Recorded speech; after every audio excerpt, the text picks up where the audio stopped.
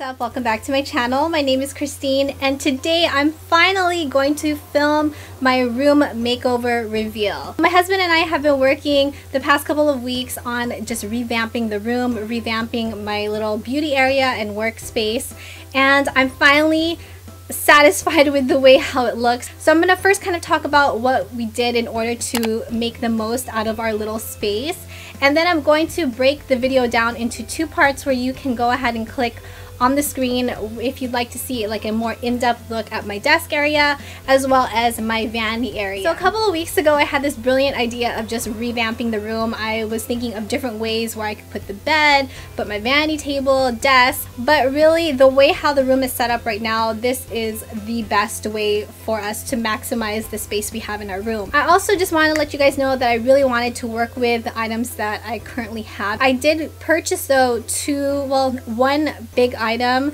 which is a desk as well as just a, a, desk lamp. I wanted to fix up my, my filming area because I felt like it was so cramped. It was very narrow. It was really a small space and there wasn't really much room for me to film. Went ahead and moved our bed over about six inches. Thank you, Hadi, for letting me kind of take up more space on your side.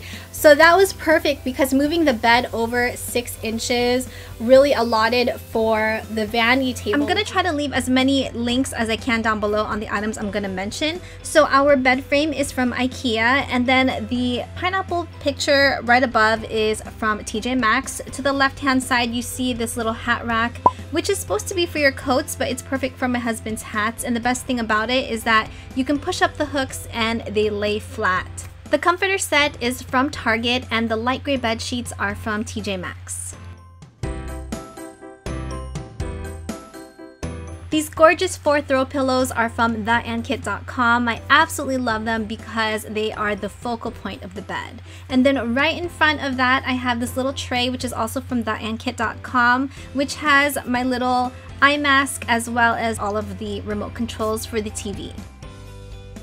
As for my desk area, I felt like it was really cramped. I just had so many things on top of the desk. So I wanted to go ahead and move the desk in front of the window where there's a lot of light that comes in. I also went ahead and purchased a desk from Target. Make sure you go ahead and wait for a sale and use your Target red card if you have it because it will definitely save you some money. It is longer and wider than the Micke desk, but I feel like there's just a lot more space for me to edit and just not have everything so crammed together, if you guys know what I'm trying to say. So it just looks a lot more pleasing to the eye. But there was still something I felt that was lacking because if you guys look at my previous videos, the background just looks really dark. We had painted the walls um, a really nice light tan color, but over the years, the light tan just seemed to turn a little bit more of like a mustard kind of brown and it just made the room look a lot darker and a lot smaller than how it is. So we decided, okay, you know what, let's go ahead and paint the room.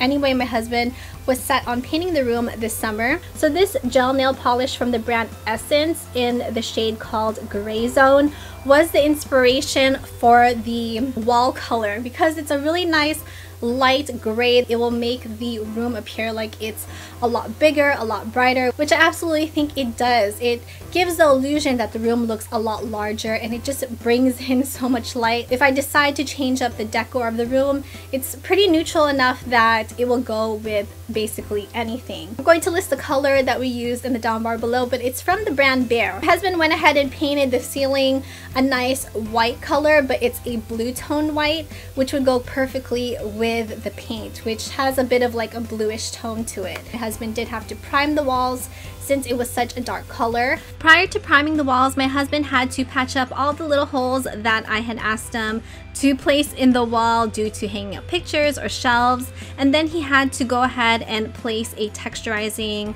uh, spray over the holes so that it would blend seamlessly with um, the texture of our wall. He also did paint, of course, the ceiling and all the trimmings white. So all in all, with the paint and the supplies, it, it cost us about $130, but it was a really, really good investment and it just changed the whole dynamic of the room. So that's what we had to do in order to kind of give our room a makeover. We just basically moved some items and then gave the walls a new coat of paint which absolutely just did the trick. So now I'm to go ahead and link up here on the screen where you guys can go ahead and take a closer look at my desk area, how I organize everything, and it will just give you guys a better insight of you know what I have on my desk and how I organize it as well as my vanity area. I hope you guys enjoyed this video. Don't forget to subscribe before you leave. Uh, follow me on all my social media. Thank you guys so much for watching and I will see you in my next video. Mwah.